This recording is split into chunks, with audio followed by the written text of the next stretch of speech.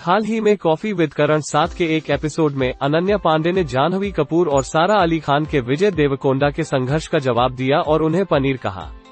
मैं आप तीनों के साथ खुद को थाली में रखना चाहती हूँ, अनन्या ने टिप्पणी की थी। जाह्नवी ने अब अपनी आलोचनाओं का जवाब दिया है। जाह्नवी ने अभी तक कार्यक्रम नहीं देखा है लेकिन उन्हें लगता है कि अनन्या को समझ नहीं आया कि वह क्या कह रही थी। चूँकि थाली में विजय अकेला था वह स्वाभाविक रूप से वहाँ उसके साथ शामिल होना चाहती थी।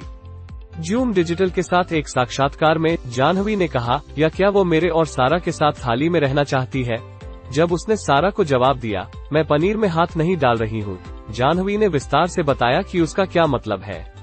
मेरे मन में एक डेयरी मुक्त आहार होता, लेकिन मैं कीटो कीटो कीटो दोहराता रहा और सारा ऐसा था। केटो का मतलब है कि आपके पास पनीर है, और मुझे लगा कि मेरा यही मतलब है।